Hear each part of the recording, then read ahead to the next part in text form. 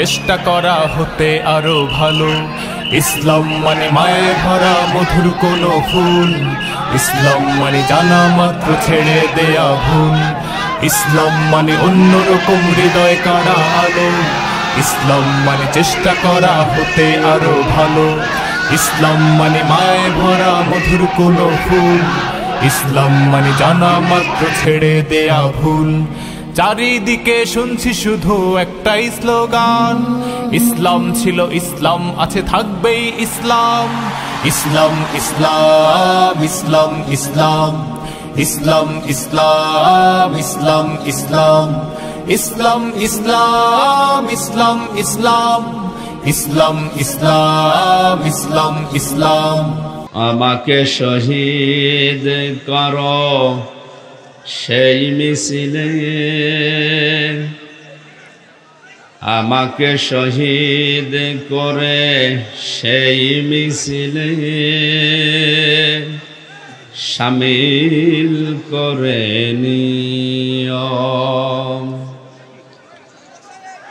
যে মিছিলের নেতা আমির হামজা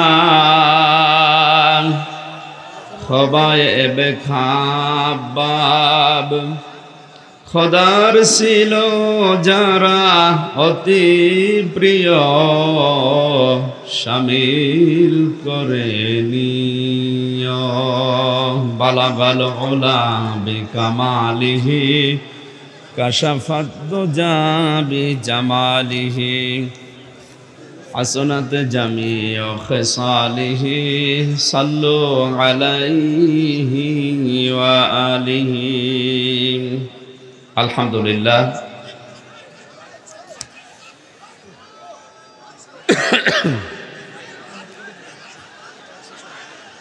ঢাকা জেলার সাভার আশলিয়া ফকির বাড়ি বায়তুর রহমত জামে মসজিদ পরিচালনা কমিটির উদ্যোগে মসজিদ সংলগ্ন ময়দানে তেইশতম বাৎসরিক ঐতিহাসিক তফসিরুল কোরআন মাহফিলের স্বনামধন্য সভাপতি। অত্র এলাকার সর্বজন শ্রদ্ধাভাজন ব্যক্তিত্ব জনাব মোহাম্মদ আকবর হোসেন মৃধা। আতাল আল্লাহ আমরাহু আবার ফি হায়াতি, সকলে বলেন আমিন। মাহফিলের প্রধান অতিথি, সাবেক প্রতিমন্ত্রী, ত্রাণ ও দুর্যোগ ব্যবস্থাপনা মন্ত্রণালয়, আলহাজ ডাক্তার এনামুর রহমান দামাদ বারকাত বারকাতহমলা আলিয়া সে আসরের পর থেকে পর্যন্ত কোরআন এবং হাদিস থেকে যারা আলোচনা রেখেছেন, আলহাজ মাওলানা মফাজেল হোসেন ভজিয়া মাওলানা হোসাইন আহমেদ মাহফুজ চুয়াডাঙ্গা বিশেষ অতিথি হিসাবে উপস্থিত আছেন জনাব এনামুল হক মুন্সি, সদস্য ঢাকা জেলা পরিষদ, জনাব মোহাম্মদ মইনুল ইসলাম ভুইয়া। মঞ্চে যারা বসা আছেন, বিশেষ করে এ মাহফিল যার মাধ্যমে সেই কুষ্টিয়া থেকে এসেছি কোরআনের দাওয়াত নিয়ে, জনাব মাওলানা আবুল কাশেম। দামাত বারকাত আলিয়া। সম্মানিত পরিচালক হাফেজ মাওলানা দেলাওয়ার হোসেন হুসাইফি উপস্থিত আছেন জনাব মাওলানা আব্দুল কাদের জিহাদি চুয়াডাঙ্গা, জনাব মাওলানা জহিরুল ইসলাম জিহাদি, জনাব মাওলানা হাফিজুর রহমান জিহাদি ঝিনাইদহ। নাম না জানা অনেক আলেম স্টেজে বসে আছে। আলেমদের হায়াতে, তজ্জেবা, সিহাতে কুল্লিয়া কামনা করছি। দামাত বারকাত সামনে বসা মুসলমান ভাইরা, পর্দার আড়ালের সম্মানিতা মা এবং বোনেরা প্রাণ প্রিয় ঢাকাবাসী,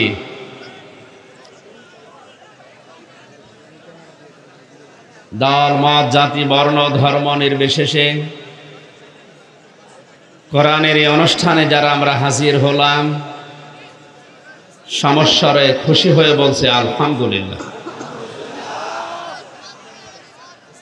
আল্লাহ রাব্বুল আলামিন বলেন, লাকাদ আনজালনা ইলাইকুম ফিহি যিকরুকুম কিতাবান ফিহি যিকরুকুম।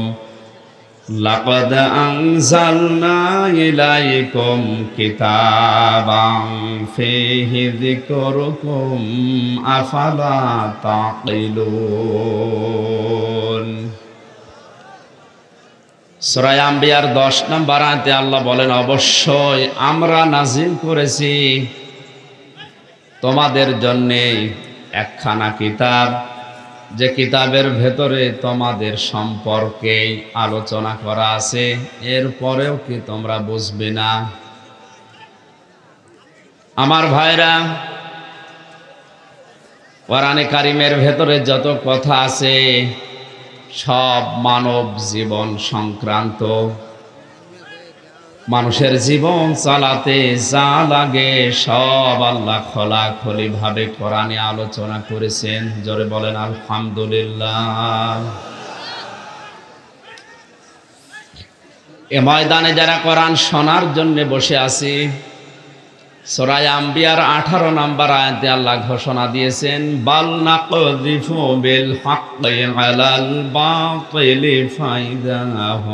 জাহিক فيدمغه فإذا هو زاهق ولكم الويل مما تصفون জোরে বলেন আল্লাহ আকবার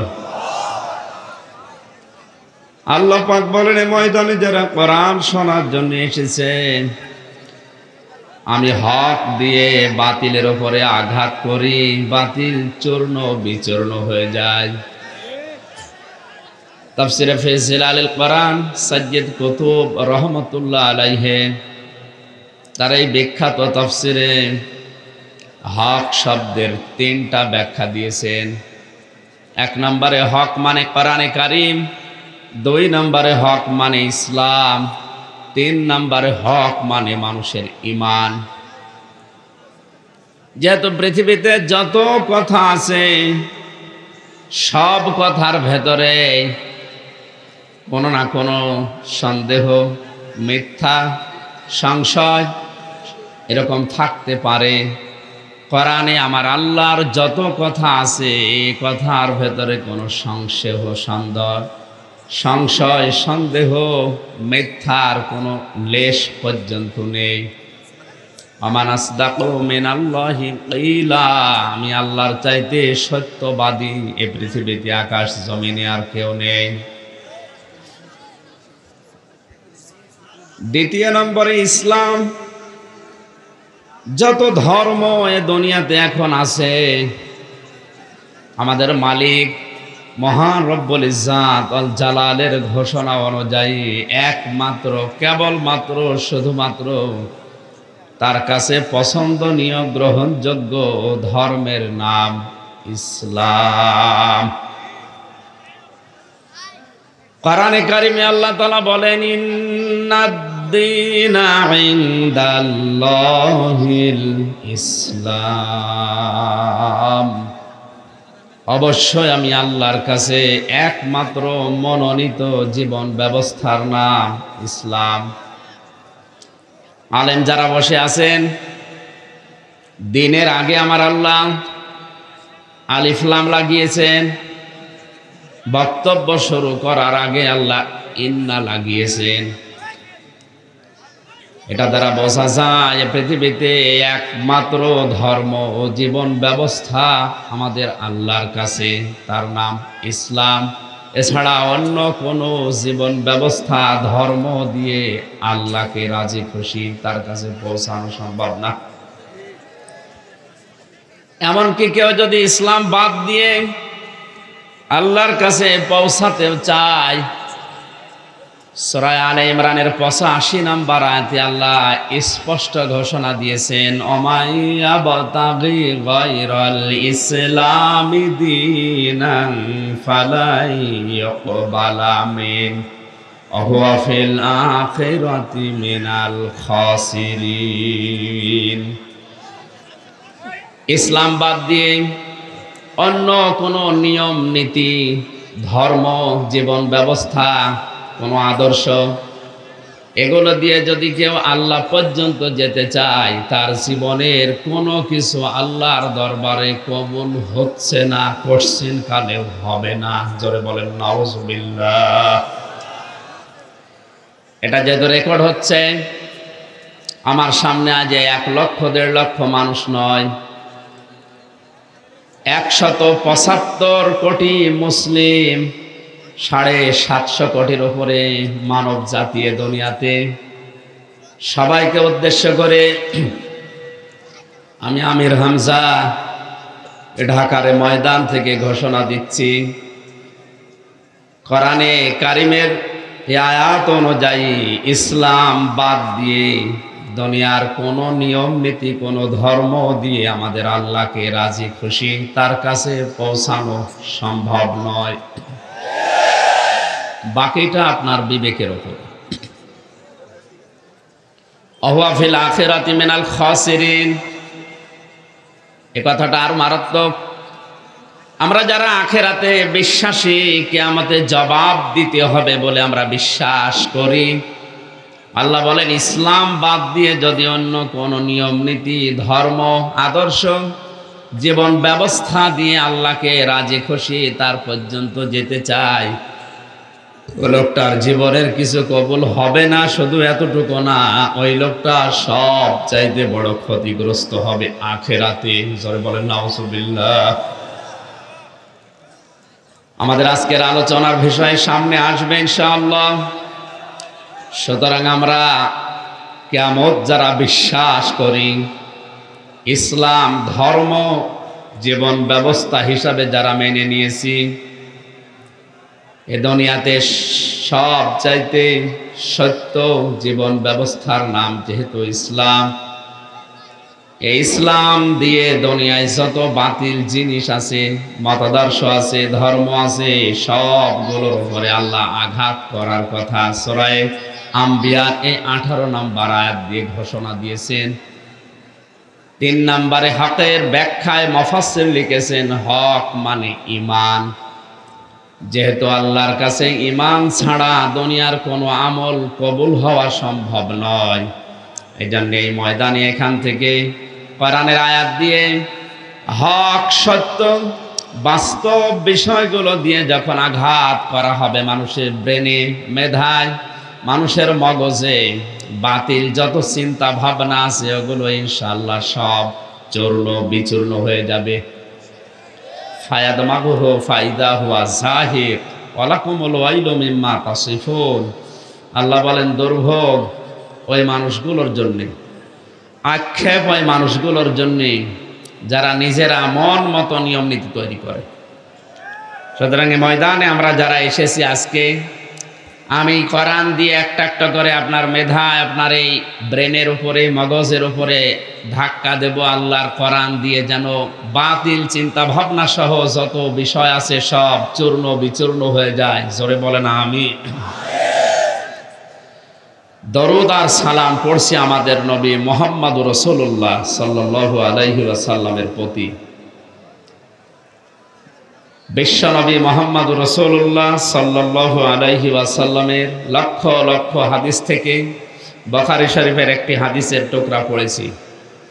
হজরতে আবু সাইদ খদরি থেকে বর্ণিত, নবীজি বলেন, তোমাদের ভেতরে কেউ যদি কোনো অন্যায় কাজ হতে দেখে, সে যেন অবশ্যই তার হাত দিয়ে সেটা বন্ধ করে। যেহেতু হক শব্দের তিন নাম্বার ব্যাখ্যায় আমি ইমান বলেছি আমাদের ইমান আছে কিনা এটা মাপার থার্মোমিটার এই হাদিস। শুধু মনে করি যে বড় জব্বা গায়ে দিয়ে, সুন্দর টপি মাথায় দিয়ে, পাগড়ি মাথায় দিলে আমাদের ইমান আছে, পাকাপোক্ত না। ইমান মাপার যন্ত্র, থার্মোমিটার এইটা। অন্যায় কাজ যেখানে হতে দেখবে ইমান যদি তার থাকে, সবল ইমানদার যিনি সবচাইতে শক্তিশালী ইমানদারের গুণ হচ্ছে সে তার হাতের দ্বারা এটা বন্ধ করবে, বাধা দেবে। মহাদ্দিসিন ইকরাম এখানে হাদিসে হাত দ্বারা শুধুমাত্র এই হাত নয়, ক্ষমতার হাত, টাকা পয়সার হাত, পাওয়ারের হাত, আইনের হাত, এরকম অনেকগুলো অর্থ নিয়েছে। সুতরাং আমরা যদি ইমানদার দাবি করি অন্যায়, বিবেক বহির্ভূত, ইসলাম বহির্ভূত, সমাজ বহির্ভূত কোনো কাজ যদি আমাদের সামনে হয়, আর আমি যদি শক্তিশালী ইমানদারি দাবি করি, অবশ্যই এটা আমাদের আইনের হাত দিয়ে হোক। টাকা, পয়সা, ক্ষমতা, পাওয়ার শক্তি যে হাত আছে যার, এটা দিয়ে অবশ্যই সেটা বন্ধ করার চেষ্টা চালাতে হবে। এটাকে আজ যদি কেউ দুনিয়ার কাজ মনে করে, রাজনীতি মনে করে ছেড়ে যায়, তাহলে সে দুর্বল ইমান, শক্তিশালী ইমানদার নয়। দ্বিতীয় নম্বরে এটা যদি সম্ভব না হয়, আইন নেই আপনার কাছে, ক্ষমতা নেই টাকা পয়সা নেই, পাওয়ার নেই, এ হাতও প্যারালাইজড। দ্বিতীয় নম্বরে আপনার মুখ দ্বারা অবশ্যই এটা প্রতিবাদ করা লাগবে, মানববন্ধন করে হোক পেপার পত্রিকায় দিয়ে হোক, এই মিডিয়ার মাধ্যমে হোক, সভা সমাবেশ করে হোক, যে কোনো কায়দা এটা যেন বন্ধ হয়। এটাও যদি কেউ করতে না পারে, ওই পরিস্থিতি যদি না থাকে, তিন নম্বরের হাদিসের শেষে আছে, সে যেন অন্তর দ্বারা ঘৃণা করে। তার মানে সে যেন পরিকল্পনা করে, অন্যায় কি করে বন্ধ করা যায়। এইটাও যদি কোনো মানুষের ভেতরে না আসে, নবীজি বলেন, এটা সর্বনিম্ন ইমানের পর্যায়। এইটাও যদি না থাকে, ওর ইমান নেই, এটা বেইমান এ হাদিস পড়ার পরে আমার যতটুকু মনে হচ্ছে, এই তিনটা বছর আমি জেলখানায় কাটিয়ে বাইরের এই জগৎ সম্পর্কে এখন যেটা দেখতে পাচ্ছি, আমাদের ইমান এই তিন নাম্বার পর্যায় পর্যন্ত অনেকের নেই। আমরা তো অন্ধপ্রকোষ্ঠে ছিলাম তিনটা বছর। ওখানে থেকেও যতটুকু দেখেছি, অনেকে মনে করে জেলখানায় সংশোধ সংশোধনাগার এটা। এখানে গেলেই মনে হয় মানুষ আল্লাহর অলি হয়ে যায়। ওখানে গেলে আল্লাহর অলি হওয়ার সেই সিস্টেমগুলো এখন চালু নেই। যদিও সংশোধনাগার লিখে দিয়েছে, এটা বাস্তবতা অনেক কম। সংশোধন হওয়ার জন্য যে রাস্তা, যে নিয়ম নীতি, যে পদ্ধতিগুলো দরকার, ওইগুলো এখন জেল কোড পরিবর্তন করে আমার মনে হয় ওগুলো চালু করা দরকার। ওখানে অন্যায়, অবৈধ অত্যাচার হচ্ছে। এমনকি আমি মিডিয়া এটা আসবে কিনা জানি না। ঠিক আছে। এই জন্য আমাদের উচিত এই সংশোধনাগারকে সংশোধনাগার হিসাবেই তৈরি করা। কোরআনে কারিম মানুষদেরকে সংশোধন করার জন্যে যে নিয়ম নীতিগুলো যে ঔষধগুলো দিয়েছে, আল্লাহ রাব্বুল আলামিন বলেন, অনুনাজ্জিলু মিনাল কোরআনি মা হুয়া মুমিনিন। ولا يزيد الظالمين إلا خسارا সরাই বানী ইসরায়েলের বিরাশি নাম্বার আয়তে আল্লাহ জানিয়েছেন এ কোরআন নাজিল করার ধারাবাহিকতায় পরিক্রমায় এমন এমন বিধান আমি দিয়েছি যেটা মমিনদের জন্য ঔষধ সুতরাং জেলখানা থেকে শুরু করে আমাদের পরিবার সমাজ এবং রাষ্ট্রের সংশোধন যদি যে চাই আমরা আমরা যদি অসুখ থেকে মুক্ত হতে চাই, রোগ থেকে মুক্ত হতে চাই, অবশ্যই কোরআনের এই নীতিমালা, এই ঔষধ আমাদের গ্রহণ করতে হবে। সুতরাং যে নবী আমাদেরকে ইমানের এই ধাপগুলো শিক্ষা দিলেন, আমরা যেন শক্তিশালী ইমানদার হওয়ার জন্য যে পর্যায় আছে, দুনিয়ার এই জীবনে ওই পর্যায়ে থাকতে পারি। আল্লাহ তাওফিক দিন, আমিন। প্রত্যেকটি জিনিস অভ্যাসের ওপরে গড়ে ওঠে আর মানুষ অভ্যাসের দাস আমরা যেহেতু তিন বছর কথা বলার অভ্যাস নেই এই জন্যে নতুন নতুন লাগছে দোয়া করেন আল্লাহ যেন আমার জন্য সহজ করে দেন قالوا سبحانك لا علم لنا إلا ما علمتنا إنك أنت العليم الحكيم সূরা মুমিন এখান থেকে দুইটা আয়াত পড়েছি একান্ন বান্ন আজকের আয়াতের ভেতরে কিছু গুরুত্বপূর্ণ তথ্য আছে। আমি তাফসির আকারে যেহেতু তাফসিরুল কোরআন মাহফিল লিখেছে, ওই হিসাবে কোরআনে কারিমের ওই আয়াত থেকে ওই কথাগুলো বলার চেষ্টা চালাবো ইনশাআল্লাহ। আল্লাহ যেন তাওফিক দেন, জোরে বলে না আমি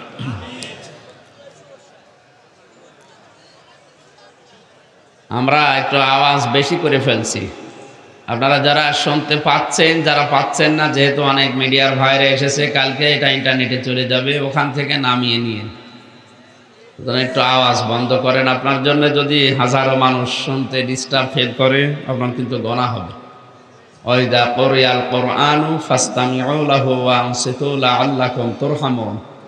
যেখানে কোরআন পড়া হয়, কোরআনের আলোচনা আরম্ভ হয়, দুইটা আদেশ আল্লাহ এখানে দিয়েছেন। চোখ থাকা লাগবে, শ্রবণ করা লাগবে। সুতরাং শোনাও এখানে এখন ফরজ চোখ থাকাও ফরজ। ফরজ, ওয়াজিব দুইটার বিষয় এখানে আছে, দুইটা ইসলামের দৃষ্টিতে। সুতরাং আপনারা চোখ থাকবেন, এটা আল্লাহর নির্দেশ। দুই নাম্বারে, যতক্ষণ হ্যাঁ কষ্ট হচ্ছে, আমিও দেখতে পাচ্ছি। একটু সহ্য করেন, মন্ত্রী মহোদয় আসবেন কিছুক্ষণ পরে। আমরা এই আয়াত থেকে যতক্ষণ আমার শরীর যাচ্ছেন অসুস্থ, ভেতর থেকে আসার পরে এই কয়েকদিন আসলে আসতে বলে। আমি অসুস্থ, এখন অসুস্থ হতে পারিনি। ভেতরের খাবার আপনারা জানেন সেরকম ভালো না। আর আমার যে শরীর, এমনি চলে না, তার উপরে আবার বিভিন্ন মলম লাগানো। দোয়া চাচ্ছে আল্লাহর এই অলিদের। আল্লাহ যেন আমাকে হায়াতের তাজ্যে বা সিহাতে করলিয়া সুস্থতা দান করে। আমি লাইভে এসে বলেছিলাম যে নির্বাচনের আগে অনুষ্ঠানে সেরকম যাব না। চট্টগ্রামে গিয়েছিলাম মুফতি হারুন ইসার সাহেবের আমন্ত্রণে। ফিলিস্তিনি মুসলমানদের পক্ষে সংহতি সমাবেশে যোগদান করার জন্য। আজকের এই অনুষ্ঠানটা আসলে হওয়ার কথা ছিল না। কাশেম ভাই, আসলে বড় ভাই একদিকে, আর ওনার কথা ফেলা যায় না। এই কারণে আরও আশা, আর আমার শরীরও পারছে না। জবান খুলে আপনারা আগে কোরআনের আয়াত পড়েন, যদি আশপাশে কোনো শয়তান থাকে। মানুষ শয়তান হোক আর জিন শয়তান হোক একদম চলে যায়। أعوذ بالله من الشيطان الرجيم. بسم الله الرحمن الرحيم.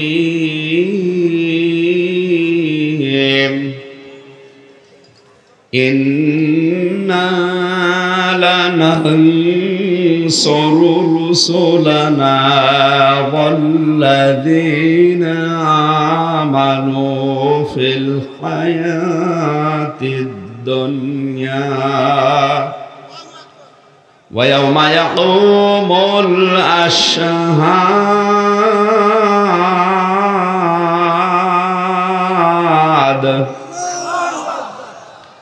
আল্লাহ পাক বলেন ইন্না অবশ্যই আমরা বা আমি লা নাং সরো, লামে তাকিদ, নাং সরো আনসরো নাং সরো। অবশ্যই অবশ্যই আমরা সাহায্য করব, করছি, করব রসুলানা আমাদের রসুলদেরকে। আমানু শব্দের দিকে খেয়াল করার জন্য বলছি, কোরআনের প্রত্যেকটি শব্দ গবেষণামূলক। আল্লাহ রসুলদের কথা জানানোর পরেই আল্লাহ ইমানদারদের নাম দ্বিতীয় পয়েন্টে দিয়েছেন। অবশ্যই অবশ্যই আমরা সাহায্য করছি, করব আমার রসুলদেরকে এবং যারা ইমানদার তাদেরকে। জোর বলেন সবহান আল্লাহ সুতরাং আল্লাহর সাহায্য এটা শুধুমাত্র রসুলদের জন্যে আর ইমানদারদের জন্যে। কোনো বেইমানের জন্য আল্লাহর সাহায্য এখন নেই, ভবিষ্যতেও থাকবে না। কখন করবেন আল্লাহ এটা? ফেল হায়াতের দুনিয়া পার্থিব এই জীবনে শাহাদ এবং যেদিন মানুষ দণ্ডায়মান হবে, তার মাতে কেয়ামতের ময়দানে। আয়াতের ভেতর আমরা দুইটা তথ্য পেয়েছি।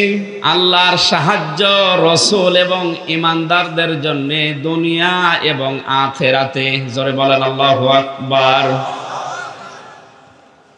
এই আয়াত থেকে প্রশ্ন আসে, তাহলে প্রথম নাম্বারে আল্লাহ সাহায্য করবে। রসুল না রসুল? বহু বছর আল্লাহ দিয়েছে, জানিয়েছেন।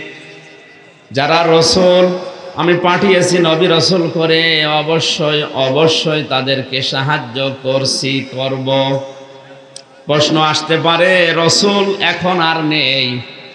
কেয়ামত পর্যন্ত আসবেও না। তাহলে রসুল আনা এ বহু বচন শব্দ দেওয়া আল্লাহর ঠিক হয়নি। আয়াতের অর্থ যেটা বললাম, এ অনুযায়ী আল্লাহর এই রসুলানা শব্দটা এখন দেওয়া ঠিক হয়েছে। লানাংসরু যেহেতু মজারে দিয়েছেন আল্লাহ, এখন করছি, ভবিষ্যতেও করব। এ অর্থে আসলে রসুল এখন নেই, কেয়ামত পর্যন্ত আর আসার সম্ভাবনাও নেই। সুতরাং যারা মিথ্যা নবী এবং রসুলের দাবি করছেন, এই আয়াত অনুযায়ী হাদিস এসেছে তাফসির গ্রন্থে। ব্যাখ্যায় আমরা পেয়েছি, আনা খাতামান নাবিদ্দিন আলা নাবিদ্যা বাদি। আমি শেষ নবী, আমার কনের ফোনে করেন, নবী নেই, রসুল নেই। সুতরাং যারা দাবি করছে, এক কথা এরা মিথ্যাবাদী। রসুলদেরকে আল্লাহ সাহায্য করবেন, বলছেন, কিয়ামত পর্যন্ত অথচ রসুল আর কিয়ামত পর্যন্ত আসবে না। আল্লাহর বক্তব্য দুই রকম হয়ে যাচ্ছে। আমি যতগুলো তাফসির দেখেছি আয়াতের মফাসের নিকরামি আয়াতের তাফসিরে রসুল বলতে নায়েবে রসুল এখানে বুঝিয়েছেন, আল ওলামা ওয়ারাসাতুল আম্বিয়া। আলেম ওলামা যারা, এরা নবীর ওয়ারিস নায়েবে রসুল উত্তরাধিকারী। তারা হয়তো সম্পদ, টাকা, পয়সা দুনিয়ায় ছেড়ে যায়নি, তারা ছেড়ে গেছে এলেম, ঐশী বাণী। সুতরাং এলেম যারা পাবে দুনিয়াতে, ঐশী বাণী যারা অর্জন করবে, এই মানুষগুলোই আল্লাহর নবীর উত্তরাধিকারী নায়েবে রসুল। এদেরকে আল্লাহ সাহায্য করবেন, তিনি গ্যারান্টি দিয়ে ঘোষণা দিচ্ছেন, আর আল্লাহর ওয়াদা, আল্লাহর গ্যারান্টি কখনোই মিথ্যা হওয়া সম্ভব না, এটা আমরা মনে প্রাণে বিশ্বাস করি। আমার ভাইরা বারানে কারিমের সুরায় মমিন। একান্ন নম্বর আয়াতে আল্লাহ পাক জানিয়েছেন, অবশ্যই অবশ্যই আমরা সাহায্য করছি, করব। আমার রসুলদেরকে কারাগারের ভেতরে মরহুম মুফতি আমিনী রহমতুল্লাহ আলহের জামাতা মুফতি সাকাওয়াত হোসেন রাজি মাওলানা জনায়দ আল হাবিব, কওমি মাদ্রাসা কেন্দ্রিক প্রায় ছিয়াত্তর জন আলেম এবং আমি সহ এক জায়গায় আমরা দীর্ঘদিন ছিলাম। বিশেষ করে মুফতি সাখাওয়াত হোসেন রাজি সাহেবের কাছে এই আয়াত নিয়ে আমরা দুইজন কথা এক জায়গায় যখন বলতাম, আল্লাহ রসুলানা কেন দিয়েছে? এবং রসুলদেরকে তিনি সাহায্য করবেন বলে কোরআনে অঙ্গীকার করলেন ও গ্যারান্টি দিয়ে, তাকিদ দিয়ে। হজরত ইব্রাহিম আলাইসাল্লামের এখানে তিরিশটা পয়েন্টের উপরে আমি নোট করেছিলাম ওখানে। শরীরের যে কন্ডিশন গলার যে অবস্থা আর কথা বলার এই ধারাবাহিকতা যেহেতু প্রায় তিন বছর নেই, এই জন্যে মানে হচ্ছে না। দু একটা, পাঁচটা এভাবে হতে হতে চালু হয়ে গেলে ইনশাল্লাহ আবার। মানে আমার এক নানি শাশুড়ি ছিল, বলতো যে বক্তার গলার জোতার তলা সমান। জোতার তলায় যেমন কিছু বাঁধে না, এ বক্তার গলায়ও কিছু বাঁধে।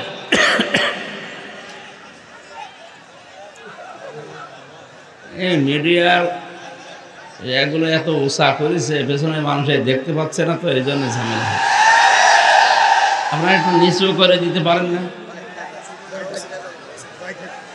এখন তো আর সম্ভব না। দিনের বেলায় অন্তত এখানে একটা যদি বাঁশ দিয়ে ঘিরে দিতেন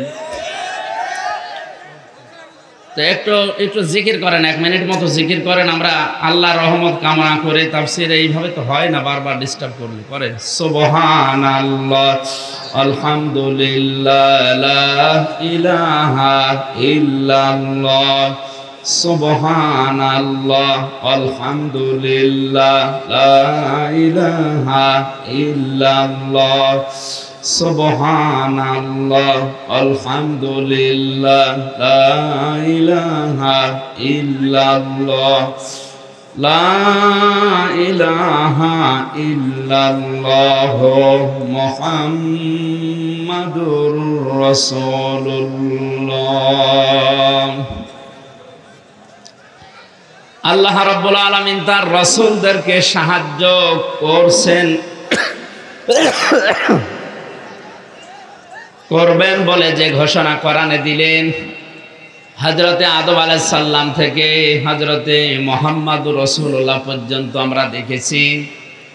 নবীদের জীবনী ইতিহাস গ্রন্থে, হাদিস গ্রন্থে পড়াশোনা করার পরে যেটা আমরা পেয়েছি, তাদের যে সাহায্য আল্লাহ পাক তাওরাত, জব্বর, ইঞ্জিল সহ একশো চারখানা যে গ্রন্থ আমরা জানি। একশো খানা সহিফা, চারখানা বড় কিতাব। এর সামারাইজগুলো আমরা দেখেছি।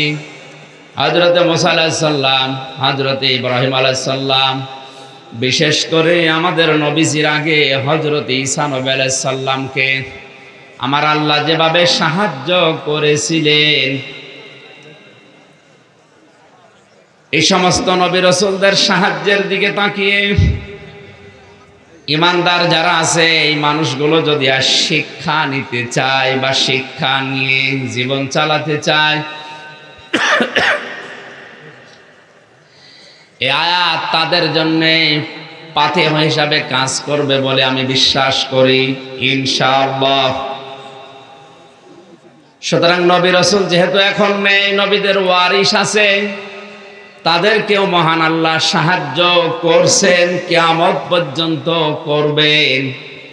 তার বাস্তব প্রমাণ আজও এই দুনিয়াতে যারা হক্কানি আলেম আছে তারা। ইমাম তাইমিয়ার ঐতিহাসিক একটা উক্তি আমি মাঝে মাঝে বলি যে হক্কানি আলেম এই শব্দটা নিয়ে আজ যারা মানুষকে ধোকা দিয়ে বোকা বানিয়ে নিজেদের আখের গোছায় আসলে হক্কানি আলেম তার কিতাবের ভেতরে পেয়েছি তিনটা জায়গায় তিনি উল্লেখ করেছেন, এদেরকে পাওয়া যায়। তোমরা যদি দেখতে চাও, ওই জায়গাগুলোতে খোঁজ করবে। এক জায়গা হচ্ছে মাটির নিচে, তার মানে কবরে। দুই নম্বরে, জেহাদের ময়দানে যারা আল্লাহর দিনকে কায়েম করার জন্যে সর্বাত্মকভাবে চেষ্টা চালাচ্ছে লড়াইয়ের ময়দানে। তিন নম্বরে যারা জালেমের জেলখানায় অন্ধকার প্রকোষ্ঠে বসে আছে। আজ হক্কানি আলেমের নাম নিয়ে চার পাঁচ লাইন ডিগ্রি দিয়ে এমন এমন মানুষের নাম আমরা বিভিন্ন পোস্টারে দেখি। নাম খুঁজে পাওয়া যায় না। হকের ডিলার হয়ে বসে আছে। কারাগারের ভেতরে দেখলাম একজন সভাপতির পরিচয় পেলাম যে কি আপনি বলে, আমি আল্লাহর দলের সভাপতি। এরকম প্রায় উনিশটা না বিশটা সংগঠন পেয়েছি কারাগারের ভেতরে, যেগুলো বাইরে থাকতে কোনোদিন নামও শুনি না সম্মানিত মুসল্লিকরাম বা ভাইরা, আমরা আল্লাহর সাহায্য, এটা ইব্রাহিম আলাইসাল্লামের জীবনে দেখেছি হজরতে মোসা আলাইসাল্লামের জীবনী কোরআনের ভেতরে দেখেছি। হজরত ঈসানবীর জীবনে কোরআনে দেখেছি, তাদেরকে আল্লাহ সাহায্য করেছিলেন।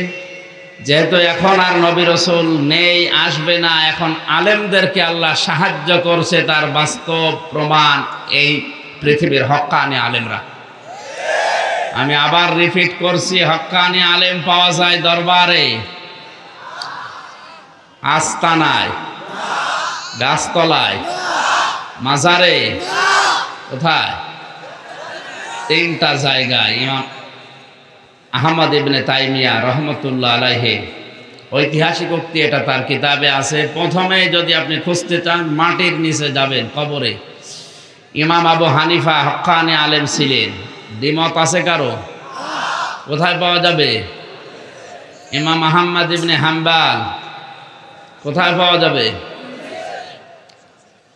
এই জন্য হক্কানি আলেম আপনি যদি খোঁজ করতে চান তাদেরকে আপনি সর্বপ্রথম খোঁজ করে দেখবেন মাঠের নিচে তারা আছে, কবরে আছে। দ্বিতীয় নম্বরে, আজ যারা জান বাজি রেখে আল্লাহর কালেমাকে বলন্দ করার জন্য কালিমাতুল্লাহ হিয়াল জেহাদের ময়দানে যারা কাজ করছে জীবন হাতে নিয়ে এরা হচ্ছে আল্লাহর এই বান্দার দৃষ্টিতে তারা হক্কানি আলেম। তিন নম্বরে হক্কানি আলেম পাবেন পৃথিবীর বিভিন্ন দেশে জালেমদের জুলুমে যারা অন্ধপ্রকোষ্ঠে ধুকে ধুকে দিন কাটাচ্ছে। আব্বাস মাদানি আলজেরিয়ার কারাগারে আজ আটাশ বছর। আমাদের তিনটা বছরে হাঁপ লেগে গেছে। আর তারা আজ আঠাশ বছর এরকম বিভিন্ন জেলখানায় জালেমের জুলুমের শিকার হয়ে দিনাপাত দিনাতিপাত করছে তারা। আল্লাহ এই মজলুম এই হক্কানি আলেমদের হায়াতে তজ্জবা সেহাতে কল্লিয়া যেন দান করেন বলেন আমি। আয়াতের এইভাবে তো হয় না, এমন। জিকির করে না? সবহান আল্লাহ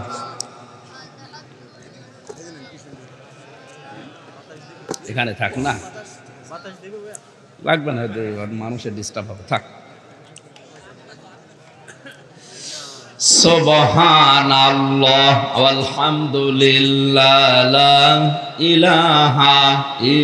আল্লাহ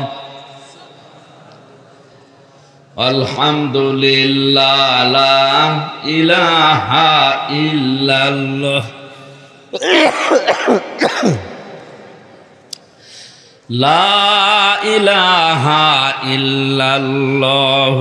মুহাম্মাদুর রাসূলুল্লাহ।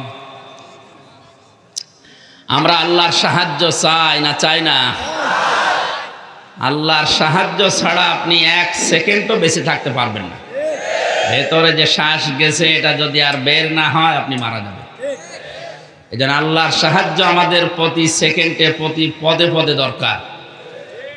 আল্লাহর সাহায্য আল্লাহ সর্বপ্রথমে আয়তে ঘোষণা দিলেন, কাদের নাম? রাসুলদের। বলেন, কাদের নাম?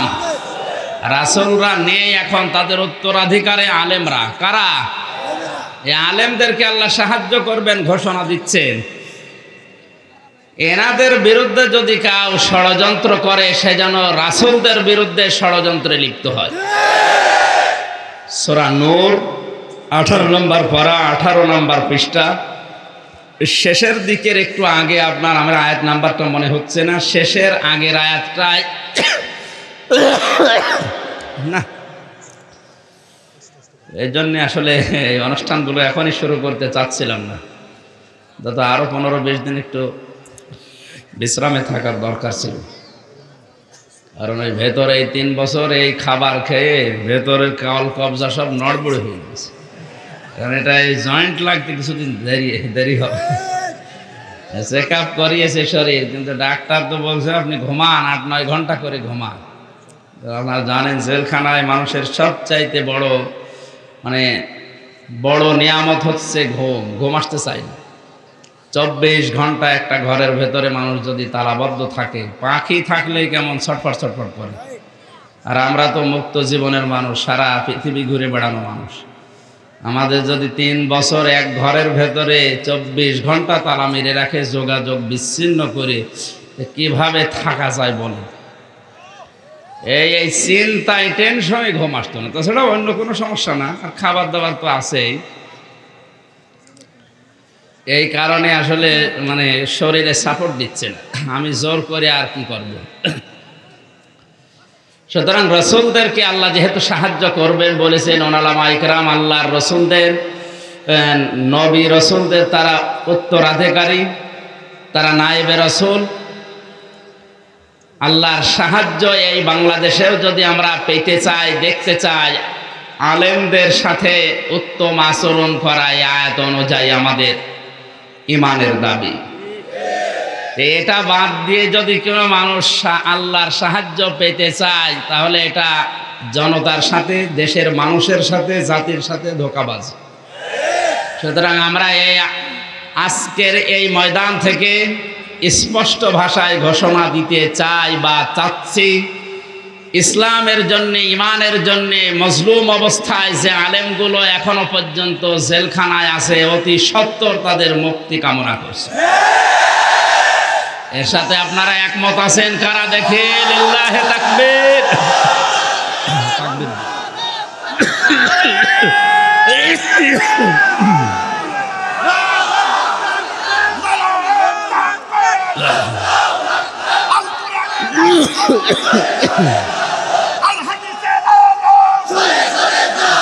দেখে লিল্লাহে তাকবীর কান দেওয়ার দরকার নেই আপনি আপনার আসতে এখানে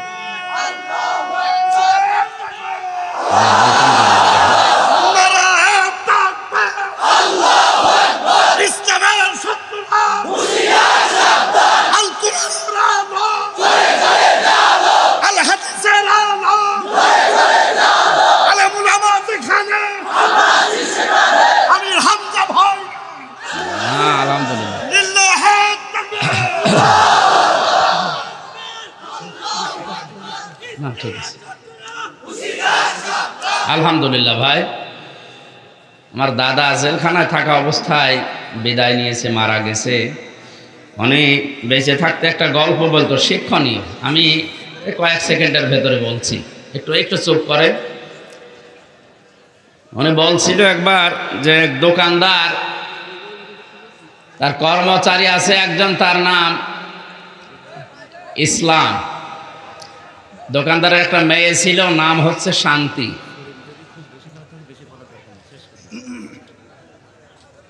এই দোকানদারের মেয়ের সাথে কর্মচারীর একটা হটলাইন। দোকানদার একদিন টের পেয়ে আচ্ছা পিটানো পিটিয়েছে, যে তুমি একটা কর্মচারী আর আমি আমি মালিক, তোমার আমার মেয়ের সাথে লাইন। এমন পিটানো পিটিয়েছে ও সিদ্ধান্ত নিয়েছে, মালিক, তোমার এই শান্তির জন্য আমি মার খেলাম। দেখি শান্তি কয়দিন তোমার ঘরে থাকে। এমনিতে তো লাইন ছিল আরও লাইন বাড়িয়েছে। শেষ পর্যন্ত শান্তিকে বলছে, কোথায়? এই তো আমি আসি আসো স্টেশনে, আজকে পালানো লাগবে। পালিয়েছে, সকালবেলা দোকানদার চিল্লাচ্ছে, আমার শান্তি গেল কোথায়? জনগণ বলছে, শান্তি গেল কোথায় মানে? হ্যাঁ আমার মেয়ের শান্তিকে আমি খুঁজে পাচ্ছি না। লোকজন বলে, আপনি শান্তি খোঁজার আগে বলেন তো আপনার দোকানে যে ইসলাম নামে কর্মচারী ছিল, ও কোথায়? ও তো আসে না। ওই তোমার শান্তি নিয়ে পালিয়েছে। বলে, ওরে তো পিটিয়েছিলাম ওই শান্তির কারণে। এলাকার লোকজন তাকে ধিক্কার দিচ্ছে আর জানাচ্ছে। যে ইসলামকে পিটিয়ে বিদায় করে দিয়ে শান্তি তালাশ করো, ইসলাম আছে যেখানে শান্তি গেছে সাহায্য যদি আমরা পেতে চাই, এই, ঠিক আছে ভাইয়া, কথা বোঝার চেষ্টা করি। বাস্তবে এই দেশে যদি এখন আমরা আল্লাহর সাহায্য ছাড়া তো চলা সম্ভব না। আপনারা জানেন এই দেশটা চালাতে, আমি একটা ছোট্ট উদাহরণ বলি, একশো টাকা যদি লাগে এক বছর চলতে এই বাংলাদেশ। আঠারো কোটি মানুষ আমরা, একটা বছর চলতে মনে করেন একশত টাকা লাগে। কত? পঁচাত্তর টাকা আসে বাইরের দেশগুলো থেকে। বিশেষ করে আমেরিকা সহ সাতটা, আমরা সেভেন সিস্টার জানি, এই সাতটা দেশ থেকে এগুলো আসে। বাকি পঁচিশ টাকা বিভিন্ন জায়গায় এবং আমরা যা কামাই করি, এই দেশে উৎপন্ন করি, সেটা থেকে। এখন যদি এই পঁচিশ টাকা দিয়ে চলতে চাই। সম্ভব না। পঁচাত্তর টাকা তো লাগবে। সবচাইতে বড় বিষয় হচ্ছে আল্লাহর সাহায্য। আল্লাহর এই সাহায্য যদি পেতে চাই, অবশ্যই এদেশে যারা ঐশী জ্ঞানে জ্ঞানী, আলেম, যারা এক কথায় উত্তরাধিকারী, নবী এবং রসুলদের, যেহেতু আল্লাহর ঘোষণা তিনি মানুষ বানিয়েছেন, খালাকাল ইনসান আর তিনি সাহায্য করবেন বলেন, গ্যারান্টি দিচ্ছেন। অবশ্যই আলেম ওলামাদের যে মর্যাদা, যে সম্মান, যে জায়গা, তাদেরকে ওই মর্যাদা, ওই সম্মান ওই জায়গায় রাখতে হবে, তাহলে আল্লাহ সাহায্য আসবে। মানফিল হায়াতের দুনিয়া, রাসূলদের নামের পরে আল্লাহ ইমানদারদের নাম দিয়েছেন।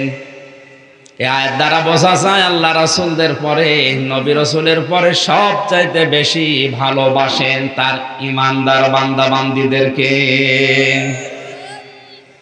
আজকে আসার সময় হাফেজ আবু সাইদ একটা আয়াত বলছিল কোরআনে কারিমের সূরা বাকারা থেকে, আল্লাহু আলিয়্যুল্লাযীনা আমানু ইখরিজুহুম মিনাজ যুলুমাতি ইলান নূর অল্লাদিনা আমানু, এই শব্দটার বাস্তবতা আমি বোঝাচ্ছি। আমাদের আসলে রসুলদের পরে আল্লাহ ইমানদারদের নাম দিলেন যে, পার্থিব জীবনে তাদের আমি সাহায্য করব।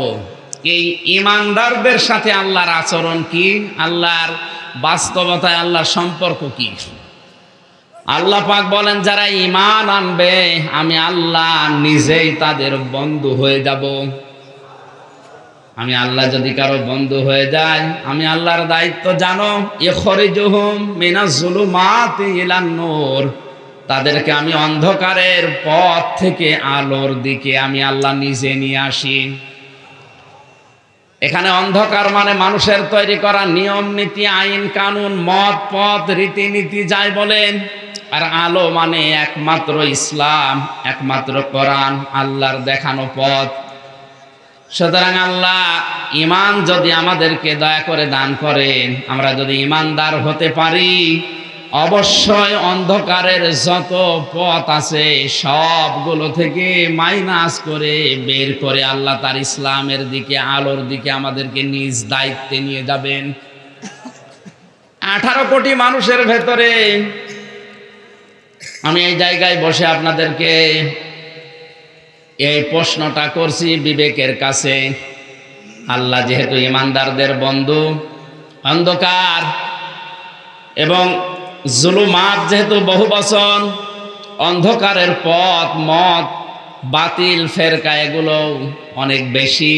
সবগুলো থেকে শুধুমাত্র ইসলামের দিকে, আলোর দিকে আল্লাহ যাদের নিজ দায়িত্বে চালাচ্ছেন, তাদের জীবনে আয়ত অনুযায়ী সৌভাগ্যশালী এখন আপনি আয়াতের ভেতরে আছেন কিনা বাস্তবতায় আপনি মিলান। এখনও পর্যন্ত যদি মানুষের তৈরি করা নিয়ম, নীতি, প্রতিষ্ঠার আন্দোলন বন্ধ করে আল্লাহর আইন প্রতিষ্ঠার আন্দোলনে যুক্ত হতে না পারেন তাহলে আপনার জীবন আট আনা, চার আনা নয়, ষোলো আনায় বৃথা।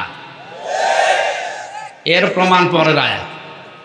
অল্লাদিনা কাফারু ইখরে জহুম মিনান নূরি ইলা জুলুমাত। অল্লাদিনা কাফারু তাগুত যারা কাফের, আল্লাহ পাক বলেন, তাদের বন্ধু, তাদের অভিভাবক, তাদের গাইডলাইন দেয় শয়তান, তগুত। আমি আল্লাহ যদি কারও বন্ধু হয় আমার দায়িত্ব যেমন অন্ধকার থেকে বের করে আলোর দিকে নিয়ে আসা। শয়তান যদি কারও বন্ধু হয়ে যায়, শয়তানের দায়িত্ব তাদেরকে আলোর দিক থেকে বের করে অন্ধকারের দিকে নিয়ে যাওয়া। আলো আর অন্ধকারের ব্যাখ্যা তো এক কথাই বললাম, আলো মানে ইসলাম আর অন্ধকার মানে মানুষের তৈরি করা নিয়ম নীতি। আর নাম ধরে বলা লাগবে, সুতরাং ইসলাম বাদ দিয়ে অন্য নিয়ম নীতি নিয়ে যারা আজ পরিবার, সমাজ এবং রাষ্ট্র চালাচ্ছে, এরা সব অন্ধকারে আছে। এদেরকে শয়তান আলোর দিক থেকে বের করে অন্ধকারের দিকে নিয়ে যাচ্ছে। এরপরেও যদি এ মানুষগুলোর বিবেক না খোলে, আমার মনে হয় ওদের বিবেকের ওপরে কুকুরে পোশাক করেছে আপনি যদি এখন বাড়িতে এসে দেখেন যে আপনার স্ত্রী অনেক শিক্ষিতা, ধার্মিক, ভদ্র, কিন্তু গালি দিচ্ছে, শুকুরের বাচ্চা, কুকুরের বাচ্চা এরকম গালি দিচ্ছে আপনাকে, আপনার রাগ হবে? না না।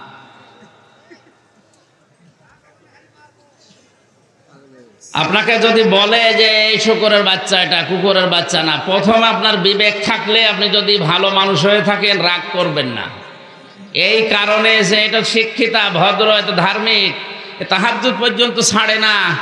আমাকে দেখলে যে খেদমত করে, স্বামীর হক আদায় করে চলে। এখানে যারা মেয়েরা আছেন, আমি কয়েক মিনিটের ভেতরে এই মেয়েদের কয়েকটা দায়িত্বের কথা বলি। সম্মানিতা মা বোনেরা, শুধু নামাজ পড়ে রোজা রেখে অনেকে মনে করে আমি কালো বোরকা পরে চলি, পর্দায় থাকি, আমি জান্নাত পেয়ে বসে আছি না। জান্নাত পাওয়ার জন্য নবীজি যে চারটা কথা জানিয়েছেন হাদিসে, তার অন্যতম হচ্ছে, নেককার হওয়ার জন্য স্বামীর আনুগত্য করে চলা। তিরমিজি শরীফের হাদিসে এসেছে, কেউ যদি নেককার নারী হতে চায়, কমপক্ষে চারটা গুণ তার ভেতরে মাস্ট বি থাকতেই হবে। এক নম্বরে, স্বামী তার দিকে তাকালেই সে তাকে আনন্দ দেবে, খুশি করবে। আর যেখানে হাজারো পুরুষ মানুষ বসে আছে, নিজের জায়জ স্ত্রী বাদ দিয়ে পরকিয়া, প্রেম চালিয়ে যাচ্ছে আল্লাহর নাম বলছে, ঠিক। পরকিয়া, প্রেম মানুষ আল্লাহর নামে করে।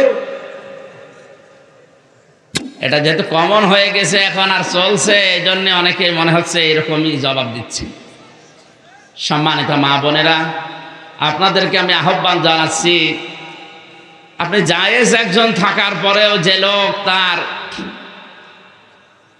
নিজের স্ত্রী বাদ দিয়ে অন্য নারীর দিকে আসক্ত, অন্য নারীর প্রতি, এটা শুধু একমাত্র তারই দোষ দিলেই না। আপনাকে আল্লাহ দিয়েছেন যা, তার ভেতরেও তাই দিয়েছেন, যার প্রতি সে আসক্ত। সুতরাং আপনাকে আমি আহ্বান জানাচ্ছি, তাকে, আপনাকে আল্লাহ যা দিয়েছেন এগুলো ওজাড় করে দেন ও যেন ওই রাস্তা থেকে অন্তত ফিরে আসে। এখন বলেন, আমি সব দিয়েছি, এরপরেও ফিরে না। হ্যাঁ এরপরের দায়িত্ব ওর ওপরে বর্তাবে। নেককার নারীর এক নাম্বার বৈশিষ্ট্য এটা, স্বামী তার দিকে তাকালে সে স্বামীকে খুশি করবে, আনন্দ দেবে। অঙ্গভঙ্গি দিয়ে হোক, কথাবার্তারা দিয়ে হোক, হাসি দিয়ে হোক কাতো কতো দিয়ে হলো না, আমি হাসির খোরাকি দেয়নি আপনার স্বামী, স্ত্রী কাতো কতো দিলে সমস্যা আছে?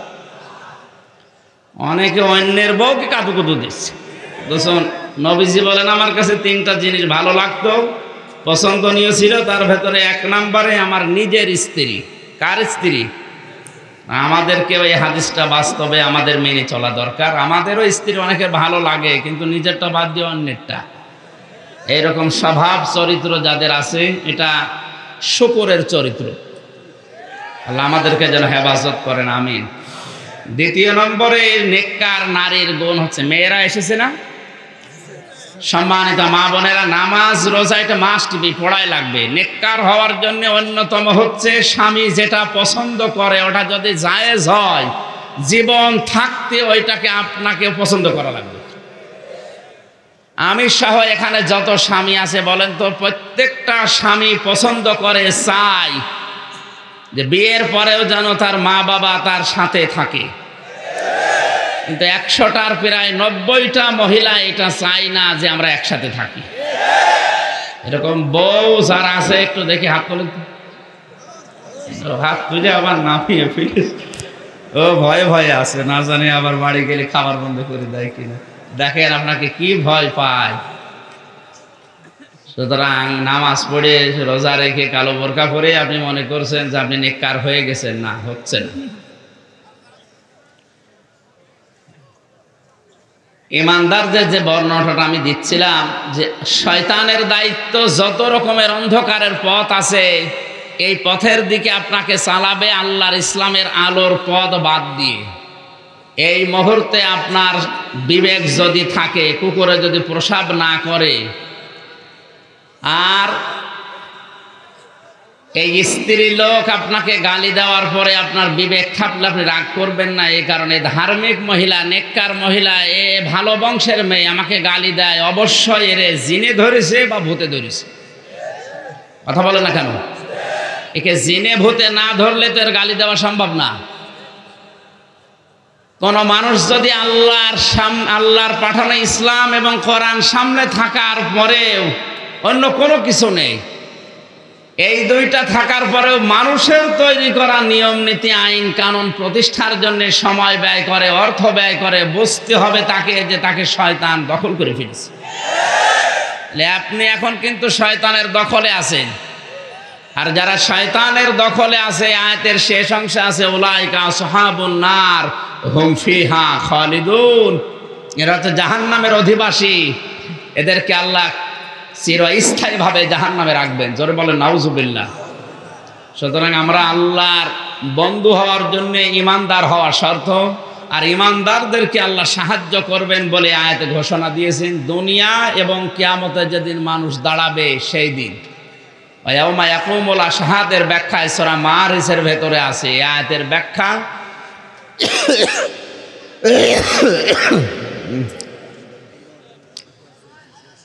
আল্লাহ রাব্বুল আলামিন বলেন ওলা ইসআলু হামিমুন হামিমা।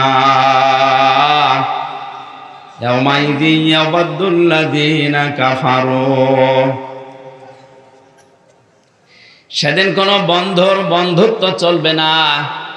ফাইদা অফিসরে ফালা আংসা বাবাইনাহুম يومئذ ولا يتساءلون সূরা মুমিনুনের একশো এক নম্বর আয়তে আল্লাহ জানিয়েছেন সিংহায় যেদিন ফৎকার দেওয়া হয়ে যাবে দুনিয়ায় যত রকমের সম্পর্ক আছে সব সম্পর্ক কাট হয়ে যাবে কেয়ামতের ওই কঠিন ময়দানে কোনো মানুষ নিজের পরিচয় অন্যের কাছে তুলেও ধরবে না। পরিচয় যাদের সাথে ছিল তাদের সাথে পরিচয় দেওয়ার চেষ্টাও করবে না।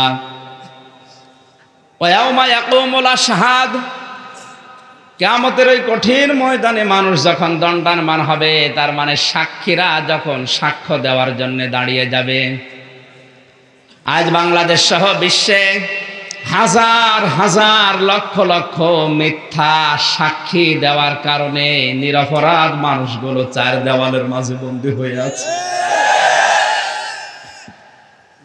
আমার যে মামলা ছিল, আমার বিপক্ষে যারা সাক্ষী দিয়েছে, কোরআনে কারিম আমার পকেটেও আছে, আমি নিজে আল্লাহর দিকে তাকিয়ে বলছি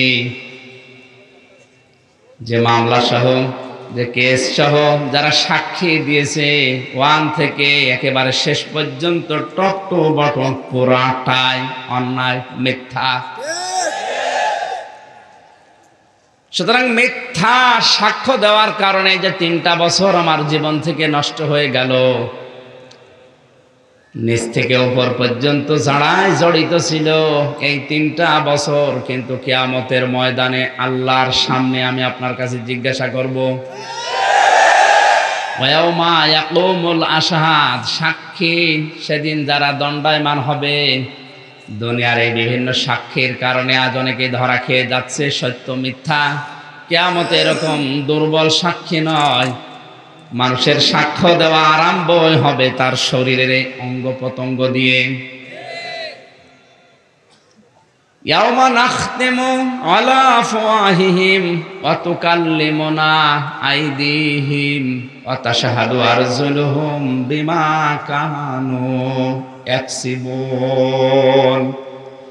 মুখের ওপর আল্লাহ মোহর লাগিয়ে দেওয়ার সঙ্গে সঙ্গে মানুষের হাত, শুধু এই হাত না ক্ষমতার হাত দিয়ে মানুষের উপরে যারা জুলুম করেছে, ক্ষমতার ওই হাত তাদের বিরুদ্ধে সাক্ষী দেবে। আইনের হাত দিয়ে যারা মানুষের উপরে জুলুম করেছে, আইনের ওই হাত তাদের বিপক্ষে সাক্ষ্য হয়ে দাঁড়াবে। আজ সাড়ে তিন হাত বডির এই মানুষের সাক্ষ্যতে, এই বাস্তবতায় কোর্ট, কাছারিতে, সিএমএম কোর্ট, জজ কোর্ট হাইকোর্ট সুপ্রিম কোর্টের দিকে তাকিয়ে দেখেন কীভাবে মানুষ প্রেশান হয়ে যাচ্ছে। কেয়ামতে আল্লাহ যখন নিজে দাঁড়াবে, হাকিমের চেয়ারে বসবে, সাক্ষী সাক্ষীগণ সাক্ষ্য দেওয়ার জন্য দণ্ডায়মান হবে। আপনার বিরুদ্ধে কত সাক্ষী রেডি হয়ে আছে, কারও কাছে বলা লাগবে না, আপনি নিজেই তার জন্য যথেষ্ট। আমি এই বাস্তবতায় এসে যেটা বুঝতে পারছি, হাজারো মানুষের বিরুদ্ধে আজ কত সাক্ষী যে জোগাড় হয়ে আছে, দাঁড়িয়ে আছে সাক্ষীগণ যেদিন দাঁড়াবে, দণ্ডায়মান হবে ওই দিন। আল্লাহ আমাদেরকে যেন বাসান তার নিজ রহমতে জোরে বলেন, আমিন।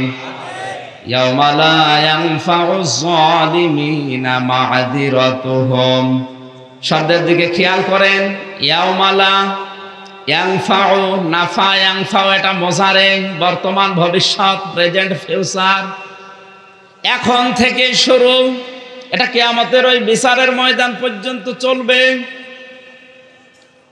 আল্লাহ বলেন, জালেম যারা, জালিমিনা, দিয়েছেন আল্লাহ, জালেম যারা, তাদের উপকার হচ্ছে না এবং তাদেরকে ছাড় দেওয়া হবে না, তাদের ওজোর আপত্তি গ্রহণ করা হবে না। কোরআনে আমি যত বিষয়ের আয়াত পড়েছি, আমার এই ছোট্ট মেধায় সবচাইতে বেশি ভয় এসে জমা দিয়েছে যারা জালেম এই সংক্রান্ত আয়াতগুলো পড়ার পর। বাংলাদেশ সহ এখন বিশ্বের দিকে তাকিয়ে যেটা দেখতে পাচ্ছি, সবচাইতে বেশি কেয়ামতে মানুষ ধরা খাবে আল্লাহর দরবারে এই জুলুম করার কারণে। জন্য জালেম যারা, তাদের থেমে যাওয়া উচিত। আলা তাহসাবান্নাল্লাহা গাফিলান আম্মা ইয়ামালু যালিমুন। আল্লাহ পাক বলেন, নবী, আপনি কি ধারণা করেন, মনে করেন যে জালেমদের সম্পর্কে আমি কোনো খোঁজ রাখি না, আমি গাফেল না?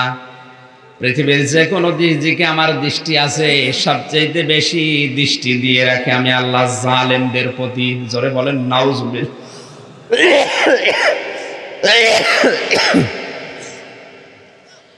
এই জন্য পৃথিবীর জালেমদেরকে বলছি, আপনারা থামেন, এই মুহূর্তে স্টপ হয়ে যান। আপনি কিন্তু আমির হামজার মামলার আসামি না, আপনি সরাসরি আল্লাহর মামলার আসামি।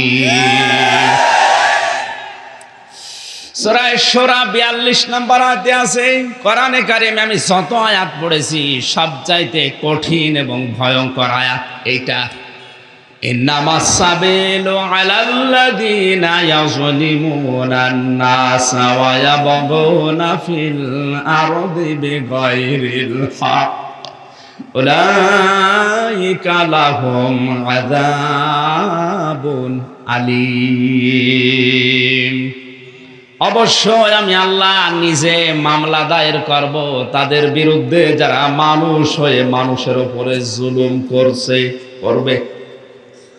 ইয়াজলিমন আল মুসলিমন আল্লাহ দেয়নি।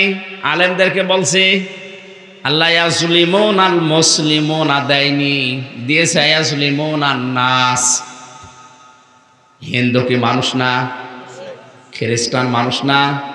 হিন্দু, খ্রিস্টান, বৌদ্ধ, এটাই যদি আপনি মুসলিম হিসাবে মানুষ মনে করেন, তাহলে মুসলমান যারা, তারা তো আল্লাহর বন্ধু।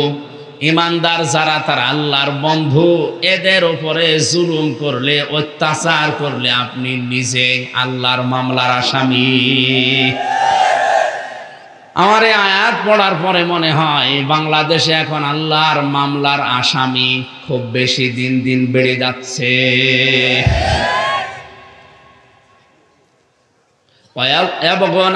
দেবে গয়রিল হাক।